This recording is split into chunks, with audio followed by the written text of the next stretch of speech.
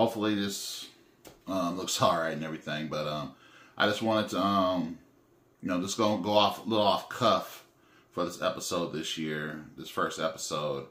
You know, um, 2024 has started off. Um, you know, a lot of things were expected, a lot of things weren't expected. But today I'm gonna talk to you guys about about anger, not not not everybody else's anger or um, the cultural anger or you know other people's anger. Today I'm gonna talk to you about my anger.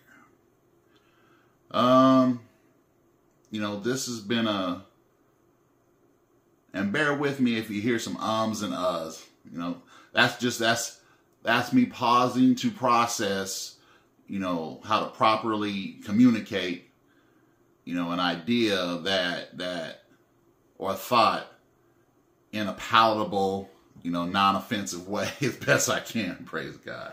But uh you know which is kind of interesting. That but that speaks to a lot of you know where my anger is derived from. It's derived from nearly 50 years of guarding you know my speech my conduct my you know what you know what i'm presenting to the world but you know that's that's part of you know many factors that play into my anger. But it's not enough. I'm not you know today i'm not going to just talk about my anger and why i'm angry and why i'm you know.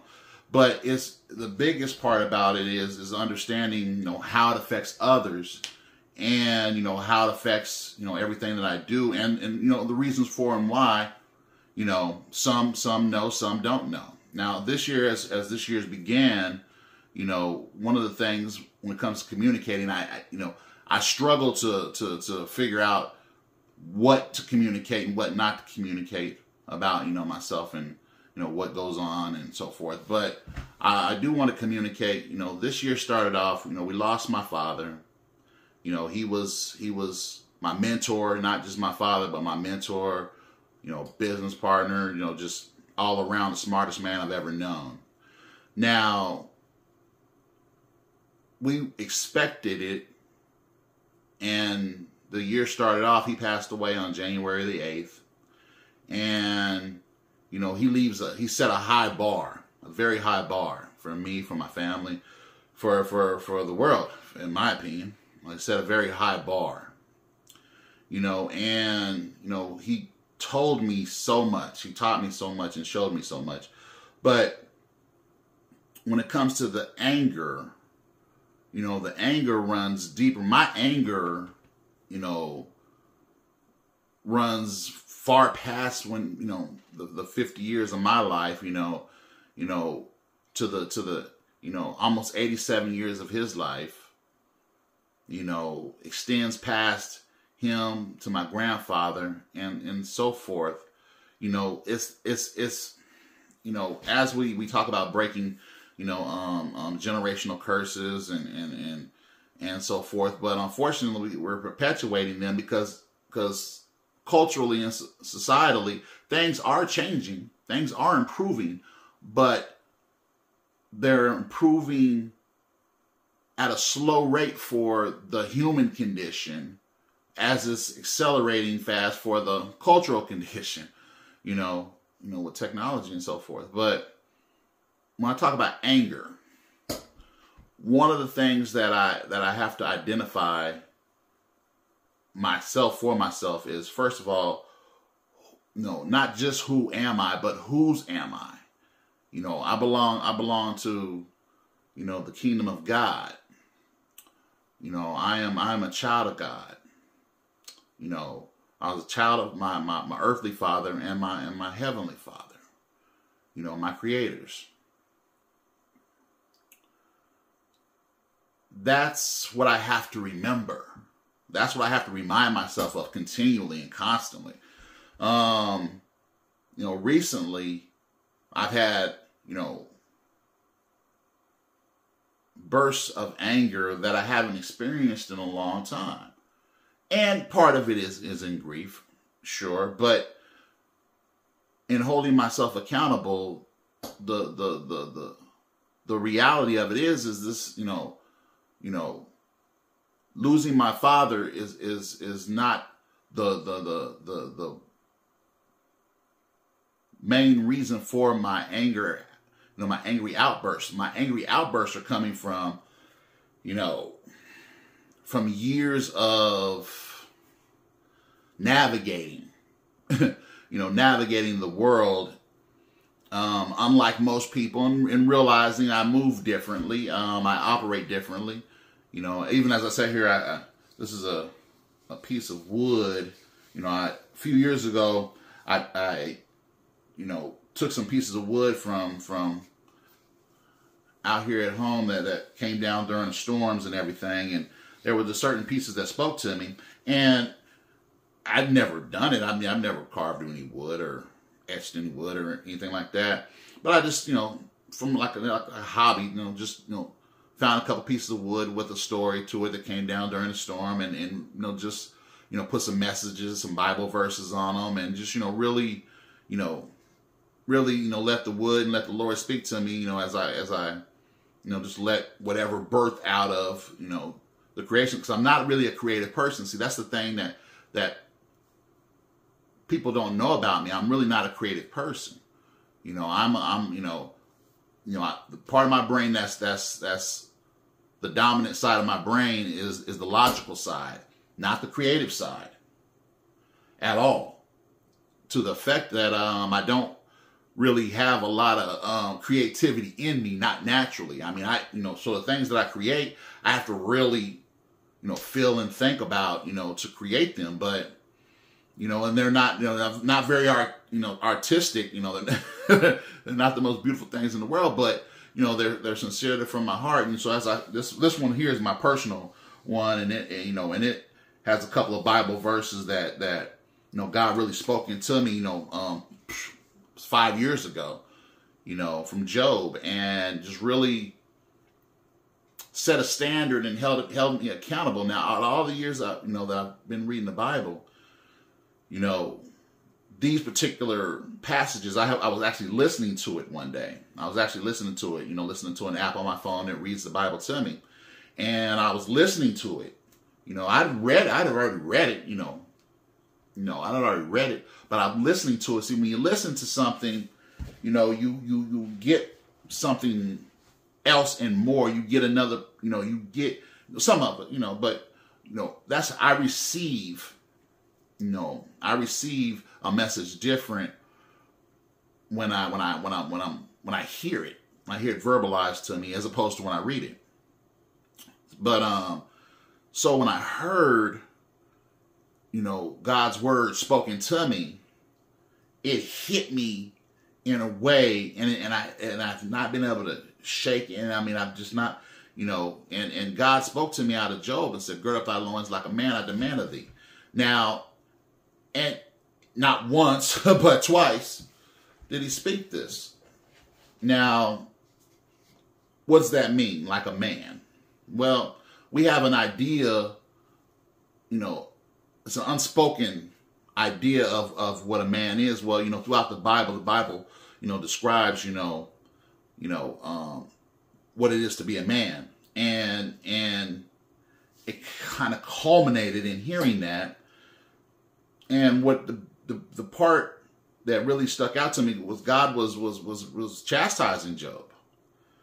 He was chastising Job and he um, held him held him to a standard. He held him to accountable, and he held him, you know, uh, to a level.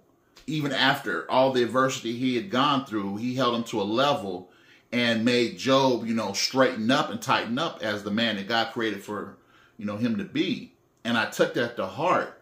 And what that what that looks like and what that means is, you know, I carry a banner.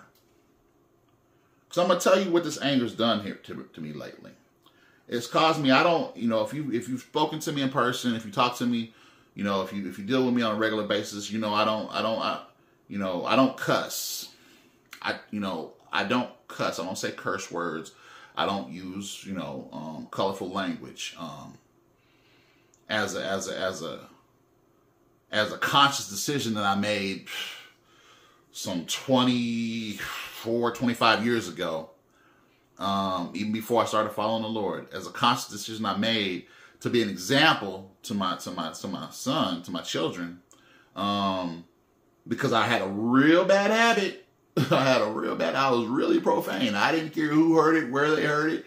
I didn't care who I was talking to. I was very profane. I mean, it it was it was it was excessive. Um, it was excessive, and I made a conscious decision that I'm not going to do this anymore. And it made me it made me it made me start to have to find other things to say, other ways of speaking, you know, of conveying a message other than using, you know, the profane language that I, that I was accustomed to, that I had become accustomed, I had made myself accustomed to. Because initially, as my father was raising me when I was younger, you see, this is, listen, this, as my father raised me, he did not raise me to be profane, you know. But as I became a teenager and a young man, you know, I took on the culture, you know, and I was part of the culture, and I, you know, I invited it, I created it, I imbibed it, and I and I really held on to it. But um when my son was about two, you know, before he was about two, I made a conscious decision, our youngest son, you know, I made a conscious decision to stop cussing. And, you know, my, my whole conversation here is not about, you know, cussing or don't cuss. This is about me. And as I as I've gone these years and, and and most people that know me and have known me know me not to cuss, well, the past several years, this has been more of a struggle. The past seven years, to be exact, it's been way more of a struggle. And I did not realize, I mean, I was good for a long time. I had, I had no reason to cuss. I mean, I had no, you know, I mean, but the past seven years have been so rocky, been so, you know, tumultuous, you know, for everybody, for the whole culture, for the whole world, you know, I found myself slipping here and there, you know, to myself by myself, you know, under my tongue a little bit here and there, you know. I'm like, oh God, you know, and I'm praying, you know, God, really touch me, touch me, keep me, Father, keep me. And it's been a struggle for the past seven years. You know, little here, little there. You know, never, you know, in, you know, in public or to people, just you know, to myself under my breath, and you know, I'm like, you know, God, you know, I'm constantly praying, right? And what's culminated, you know, up until up until now is, you know, my tolerance level is, you know, I've done a lot. I've moved a lot. I've gone, you know, and I'm still, you know, still in this struggle. You know, I've gotten to the point where it's just, you know, I've let it rip a few times here in the past few weeks, and you know, it may be understandable to culture, it may be okay to, to some, and people. I know most people understand, but I have a higher bar that my Lord has established, because I carry his banner, as my father established in, in raising me. I carry a banner. And this is what I have to, you know, this is what the conversation today is about, you know, when it comes to anger, you know, and me. And, you know, I carry a banner. I carry a banner. You know, and in carrying that banner, you know, as a man, it holds me to a standard where I have to hold myself to a standard of accountability to where it's not okay. You know, it's not okay because it's hurtful for me. If if you ever hear me speaking that way, it's very clear that I'm extremely not doing well. I'm extremely angry and to be honest, you know, culturally, you know, you know, they might say that so, but I carry a banner. See, who I answer to, I answer to my father. I carry a banner. I carry a standard. See, and this is what I was talking to um, somebody a few weeks ago, and the biggest issue I have with, you know, using the language or or, or losing my temper is not just how you know culture sees me. You know, people see me, the environment sees me. They'd be like, you know, they'll give me a pass. But the same set culture will look at my God and say, see, see, if if if he was really if he was really the God you say he is, if he was really following, you know, if he was really, you know, you wouldn't have to feel like this. You wouldn't have to, you know, they would blame God. People would blame God. People would, you know, put the put the fault on Jesus, you know, that I'm, you know, see, see, see, as opposed to me. See, so people wouldn't hold me accountable. They'd hold God accountable for the way that I conducted myself. And see, this is just a reality. This is not me asking a question or just, you know, I think, and I know this for a fact. You know, because I carry a banner. I carry a banner.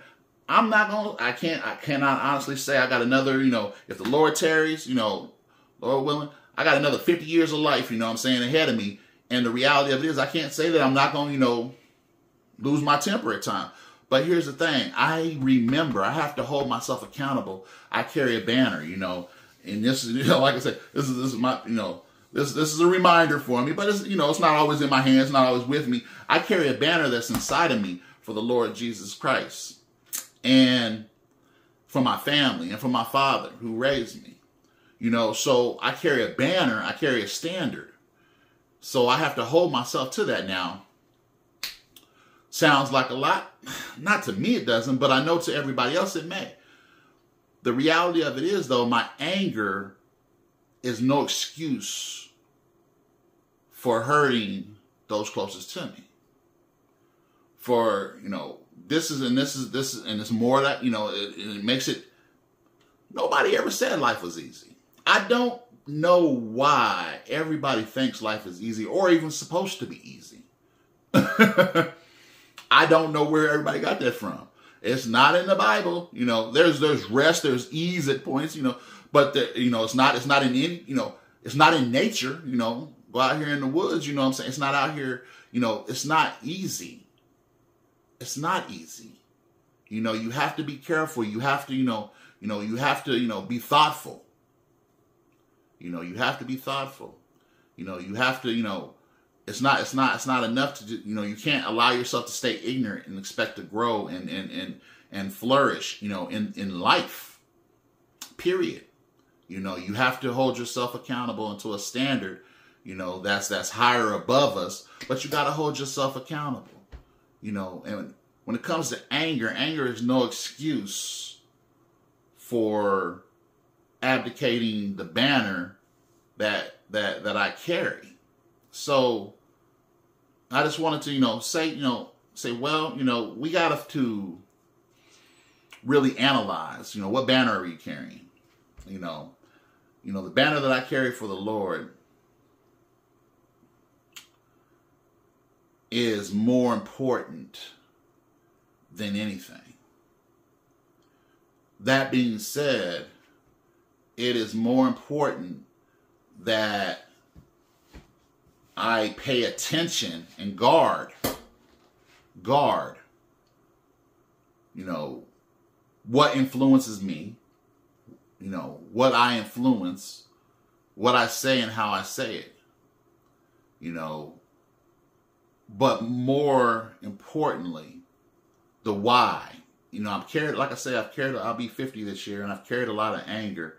You know, righteous anger. Don't don't get it twisted. You know, there's a lot of reasons, a lot of real good reasons for the anger, but the fact of the matter is, I still have to, you know, I still have to, you know, not just conduct myself, but carry myself. I still have to caretake of those around me. I still have to, you know, build and structure things with people, with other humans that require me to have a a level of of of stability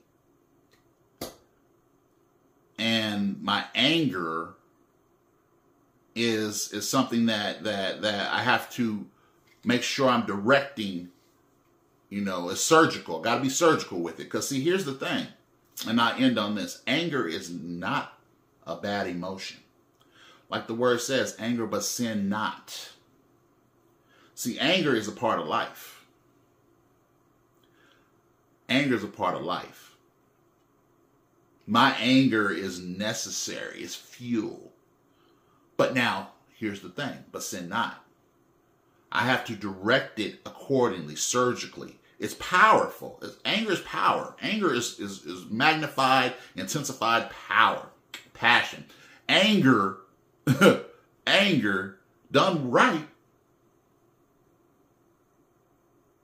purposes everybody in a very well, in a very well, you know, in in in in, in magnificent way if done right, if used properly, if turned into productive, you know, and and and you know, um, you know, growth positioned, you know, thoughtful, you know, intentional ways. So, anger, we don't avoid anger. We that's where we that's where we always lose when we avoid it, when we you know oppress it, you know, suppress it and and and and and you know tamp it out and nobody never be angry ever. No, anger but sin not. And on that note, this is our first episode of Well for the year. Um, don't know what it looks like yet, not until I look back at it. hopefully, hopefully it makes some sense to you. And you know, you know, we have a lot going on this year. This is actually, you know, my father left here, leaving it in our hands with some duties.